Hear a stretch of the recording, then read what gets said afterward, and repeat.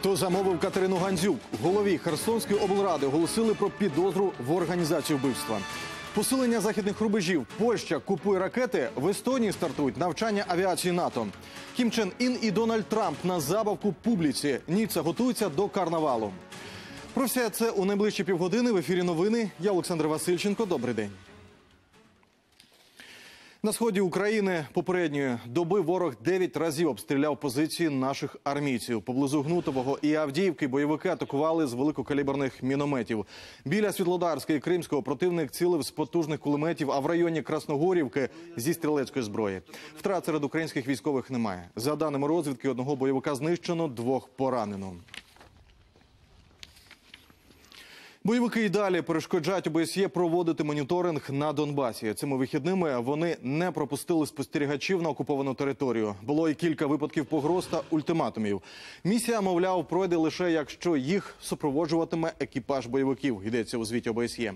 Українська сторона спільного центру координації вогню наголошує. Так окупанти намагаються приховати від спостерігачів незаконні дії. Після ворожого обстрілу на Донбасі зник український військовий. Про це повідомили в прес-службі 128-ї окремої гірнично-штурмової бригади Закарпатський легіон. Там вважають, що через контузію армієць ймовірно втратив орієнтування на місцевості та покинув спостережний пост. Побратими зниклого припускають, що бойовики могли його полонити. Голові Херсонської облради Владиславу Мангеру оголосили про підозру в організації вбивства Катерини Гандзюк. Про це повідомив Юрій Луценко. У Фейсбуці генпрокурор оприлюднив її текст. Зокрема, там йдеться, що Мангер, керуючись особистою неприязню до активістки, невдоволений її громадською позицією, замовив замах. Зараз у чиновника вдома тривають обшуки. Як відомо, торік у липні Катерину Гандзюк облили кислотою біля її будинку у Херсоні. Вона дістала хімічні опіки майже 40% тіла. Дівчину намагалися врятувати в київському опіковому центрі, але організм не витримав навантаження від ліків та наслідків травм. У листопаді вона померла. Тим часом Державне бюро розслідувань вивчає докази з місця сутички поліції та учасників організації Сі 14 Слідчі допитали свідків і потерпілих. Тепер перейшли до аналізу відео та фотодоказів.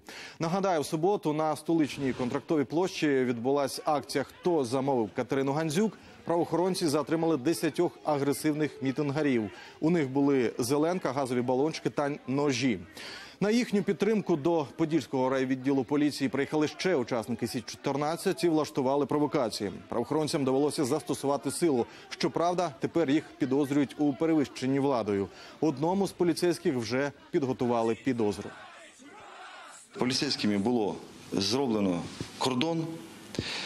І після чого останні ці, е, скажімо, група підтримка почала їх наносити удари. Зараз оглядаються камери відеоспостережень, опитуються свідки. У них було вилучено дуже багато холодної зброї, це ножі, це е, сльозогінні е, газові балончики, а також зброя. По діям працівників поліції порушено кримінальне провадження за статтею 345 перевищення влади або службових повноважень і проводиться слідство по образливому вигуку, який допустив е, наш працівник. Я особисто, як керівник поліції Києва, хочу вибачитись перед суспільством е, за дії цього працівника. Справу Уляни Супрун сьогодні заслухає окружний адміністративний суд Києва. Розглядатимуть скаргу Кабміну на ухвалу про відсторонення урядовиці з посади. Засідання призначили на другу годину. Нагадаю, попереднього тижня суд тимчасово заборонив Уляні Супрун виконувати повноваження міністра охорони здоров'я. Серед причин американське громадянство і те, що вже понад два роки вона виконувачка обов'язків, а не міністр. На підтримку чиновниці висловилися президент, Кабмін у повному складі, народні депутати та міжнародні партнери. На період предвиборчої кампанії в Україні правоохоронці посилять заходи безпеки. Протягом тижня вже зареєстровано 350 заяв про порушення пов'язані з перегонами. Відкрито понад два десятки кримінальних проваджень. В МВС заявляють, одне з головних завдань для поліцейських запобігти застосуванню вогнепальної холодної та хімічної зброї. Задля цього планують влаштувати масові перевірки, а за потреби залучати резервні спецпідрозділи. Заходи безпеки це саме головне і саме е, е, головний критерій, на який ми будемо звертати увагу, не дивлячись е, на будь-яку ситуацію. Ми не допустимо для того, щоб проносились і зброя, холодна зброя, хімічна речовина. Не будемо забувати, в якому стані знаходиться наша держава, і не будемо забувати про заходи, пов'язані е, з терористичною е, загрозою. Нетверезого кермувальника, який тікав з місця ДТП у Кропивницькому, допомогли спіймати місцеві жителі. Вони вже кілька місяців патрулюють дороги разом з поліцейськими. На вулиці Короленка після зіткнення двох автівок водій вазу намагався дременути з місця аварії. Інформацію активіст передав патрульним. Вже за кілька хвилин утікача зупинили. Драгер показав перевищення алкоголю в крові у восьмеро. Окрім того, у чоловіка було проти протерміновано водійське посвідчення та несплачені штрафи за керування на підпитку. На порушника склали адмінпротокол, а машину направили на штрафмайданчик. Перекритий в'їзд до свого селища погрожують жителі Квасилова, що неподалік Рівного. Відрізок дороги, який пролягає через селище, перетворився на суцільне решето. А достукатися до чиновників місцеві не можуть. Хто має ремонтувати трасу, спробували з'ясувати мої колеги. На вулиці Рівненській суцільні вибоїни.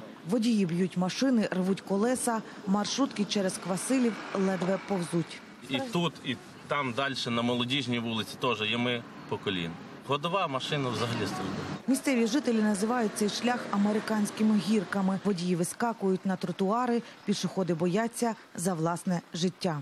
Коли ж багатотонні фури потрапляють у яму, у мешканців пришляхових будинків дрижать шибки. Ці ями вже дістали всіх, е, але вже останній е, випадок, коли приїхали і засипали булижниками ці ями, і ці булижники почали літати в різні сторони, почали вибивати шибки, почали летіти в спину дітям, людям. Місцеві жителі бідкаються. Цей шлях не бачив капітального ремонту від часу проголошення незалежності. Враховуючи це, що це є дорога рівне Рівне, Здолбунів, Мізоч, Дубно державного значення, Т-1801, е, ми не маємо права її ремонтувати. Селищна рада відповідає тільки за дороги комунальної власності, а ця дорога є державного значення. Ремонтувати цю дорогу повинен облавтодор. Шляховики виправдовуються. Цьогоріч держава виділила гроші тільки на міжнародні траси, та й то не всі. Тому єдине, що можуть, знову полатати ями. Зараз, щоб забезпечити тимчасовий там проїзд, ця ділянка орендування засипана щебеневою сумішю. Ми так і перетримуємо до е, настання, ну, коли потепліє, коли можна буде нормально взяти асфальт і перекрити вкладчиком, повністю положити е, карту там. Люди звинувачують шляховиків у бездіяльності. Ті, начебто, інколи щось тут ремонтують, бралися латати навіть у сніг. Та за місяць від їхньої роботи не залишилось і сліду. Людям же терпець увірвався. Ми готові на крайні міри піти, поки нам не зробиться капітальний ремонт дороги. Ми можемо і трасу перекрити. Жителі Квасилова готові до радикальних дій. Кажуть, якщо дорогу не почнуть ремонтувати, і їздити тут нікому не дадуть. Сніжана Сидорук, Микола Василюк, телеканал Інтер, Рівненська область. У Кропивницькому адміністрація Донецького медуніверситету погрожує відрахувати студентів іноземців, якщо вони протягом 10 днів не сплатять за навчання. Однак ті стверджують, що вже розрахувалися. Проте з ким саме дізнавалися наші кореспонденти. Третєкурсник Ахмед навчається на стоматолога. Приїхав із Єгипту. Фірмі контрактеру сплатив наперед 4 тисячі доларів. Це половина вартості навчання. Має квитанцію, але її в університеті не визнають. Они сказали, этот чек не настоящий. И ну, мы были заплатить на 137, который аудитория в университет, который ректор, когда он был здесь, он видел этот аудитория. Все, ма- все работает здесь, видел этот аудитория. Э, Вся ученица видел. А потом этот, все это изменять на один день. Сказали, мы не знаем на этот аудитория. Ректор вообще не знает. За словами студентів, оформити контракт з вишем їм допомагала фірма-посередник «Українські освітні послуги». Саме їй іноземці й платили гроші. Де вони поділися, в університеті розбиратися, схоже, не дуже хочуть. Єдине, що кажуть студенти, мають заплатити вдруге. Финансовый аудит показал, что вот эти студенты, и конкретно вот этот студент, обучается в университете незаконно. Почему незаконно? Потому что у него нет контракта с университетом и у него нет оплаты за обучение. Фірма-посередник відкрито працювала в університеті кілька років поспіль. Ось у цій аудиторії. Тепер тут бібліотека. З жовтня українські освітні послуги з'їхали. Куди у виші не знають. Хоча ще два місяці тому представник компанії запевняв керівництво навчального закладу, хоче їх вижити. Все, что о чем говорится, это просто слова, э, которые имеют целью только выбить нас отсюда, именно украинские, национа- э, украинские образовательные услуги, выбить нас отсюда, заменить фирмой-прокладкой, которая не в состоянии, вот просто говорю, не в состоянии профессионально обеспечить, э, во-первых, те обязанности контрактера, которые, э, которые уже предусмотрены по договору. Знову сплатити по кілька тисяч доларів мають майже тисяча студентів-іноземців. Загалом йдеться щонайменше про 30 мільйонів гривень. Аби добитися правди, вони вийшли на акцію. Ошукані студенти наприкінці минулого року звернулися до правоохоронців. Розслідуванням займається СБУ. Днями справа зрушила з місця. Ректору Донецького медуніверситету та представнику компанії посередника оголосили підозру. Обом закидають хабарництво. Хто ще причетний до шахрайської схеми, мають встановити слідчі. Олена Бринза, Володимир Кувакін, телеканал Інтер, Кропивницький. Автомобіль з контрабандним кав'яром затримали українські прикордонники на межі з Росією. Переправити делікатес в Україну намагався наш співвітчизник. Під час огляду його машини виявили 250 кілограмів червоної ікри та 60 коробок щучої. Порушника затримали, товар та транспортний засіб вилучили. Щодо перевізника складено адмінпротокол. Єдиний професійний баскетбольний майданчик у Миколаєві відкрили після ремонту. Щоправда, так його і не завершивши. Спортсмени вже повернулися до рідних стін. А от чиновники рахують гроші, адже їх, як з'ясувалося вже після початку робіт, на все необхідне не вистачає. У Миколаївському спорткомплексі Надія після довгої перерви вперше відбувся баскетбольний матч. Капітальний ремонт комплексу почали торік на початку осені. У листопаді у розпал ігрового сезону його закрили, а в березні планували завершити перший етап робіт. Та спортмайданчик відкрили на місяць раніше. Забракло грошей більше половини необхідної суми. Скляний фасад, нові вікна та тимчасовий дах це все, що вдалося зробити. До того ж, доведеться змінювати проект. Він не враховує чимало нюансів. Первый этап еще не закончен, потому что в нем еще предусмотрена санузлы, система отопления, которая не делалась, ну, потому что был отопительный сезон. И э, сам фасад, э, сейчас идет корректировка. Раньше там предусмотрена это была система церезит, сейчас она меняется на э, алюминиевой профильная система. Вентилируем фасады. Треба переробляти і дах, попри те, що роботи провели якісно. При проектировании данной крыши не было учтено водоотвод, который образовался после того, как изменили технологию крыши с плоской на вот такую штуку, э, которая сегодня используется. Но при этом вода отходит, но она может портить здание и, собственно, кроме этого здания, еще и его фундамент. Тим часом баскетболісти такому розвитку подій радіють. Кілька місяців миколаївські професійні команди не мали можливості повноцінно тренуватися, а домашні ігри доводилося проводити у гостях. Навіть попри те, що оренду паркету взяла на себе Федерація баскетболу, утримання колективу на виїзді вилилося клубу у чималу суму.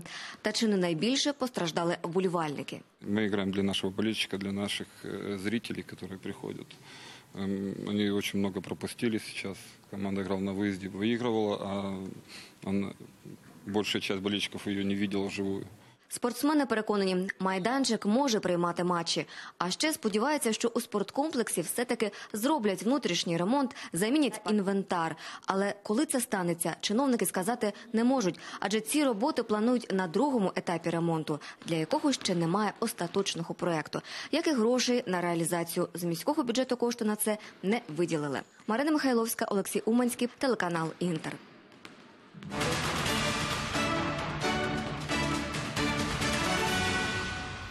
В Естонії стартують військові навчання НАТО. Тренувальні польоти в небі над Естонією впродовж тижня проведуть винищувачі ВПС Німеччини, які від минулого року базуються на естонській авіабазі в Емарі.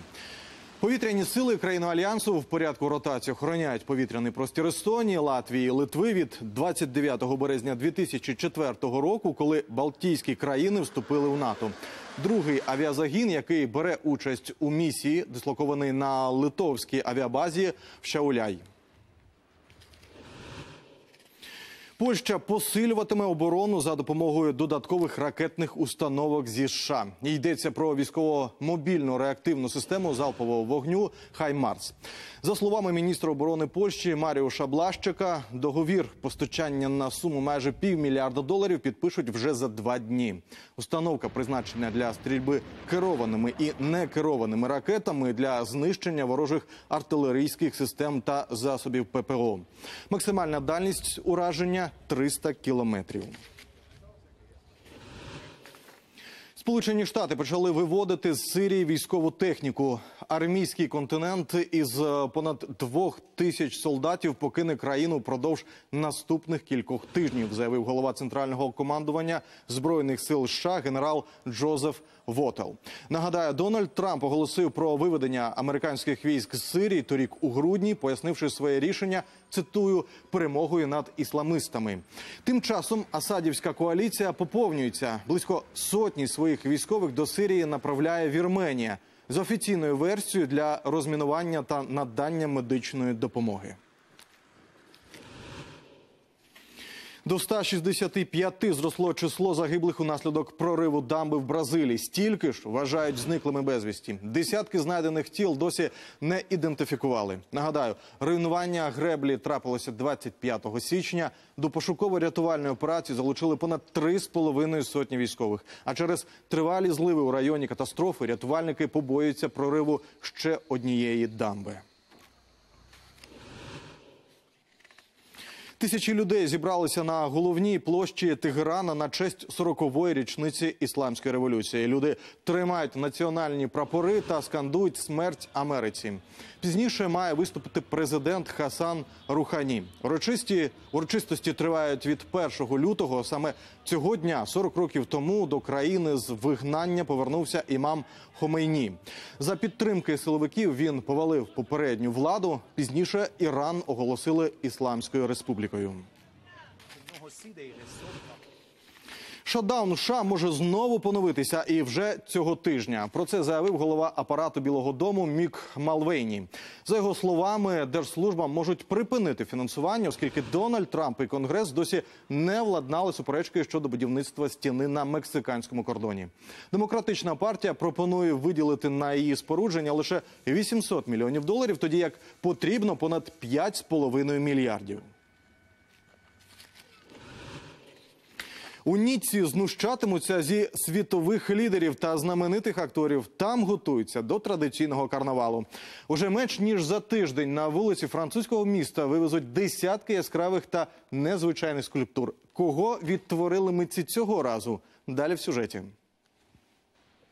Дональд Трамп, Ангела Меркель і навіть Ким Чен Ін. Усіх можна буде побачити вже цими вихідними в Ніцці. Щоправда, з гігантськими головами і в костюмах страшних клоунів. Такі фігури світових лідерів виготовили місцеві скульптори до дня одного з найдавніших у світі карнавалів, що відбудеться менш ніж за тиждень.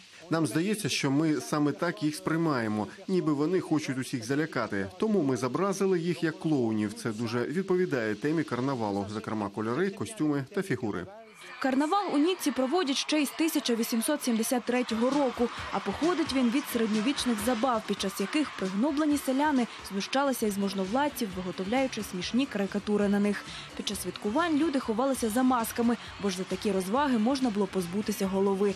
Тепер, у часи демократії, на карнавал приїздять люди з усього світу, але маски одягають одиниці.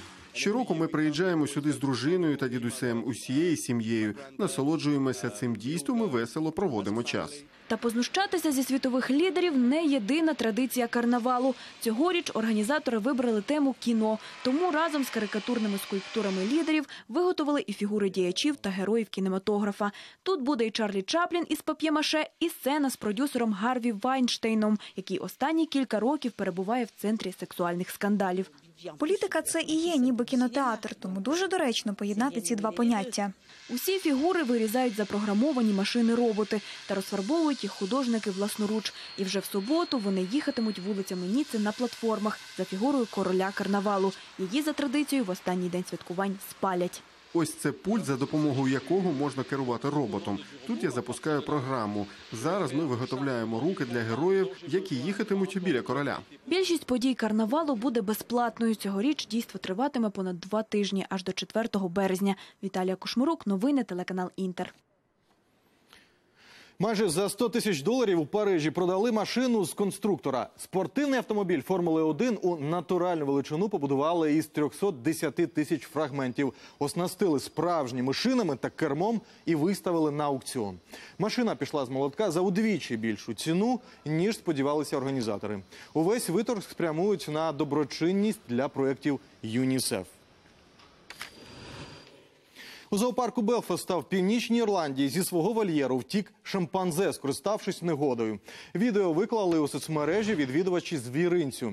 На кадрах шимпанзе прутливо до притулив до стіни одну з поламаних вітром гілок і виліз нею нагору. Тварина трохи погуляла зоопарком та, зрештою, повернулася до своїх родичів.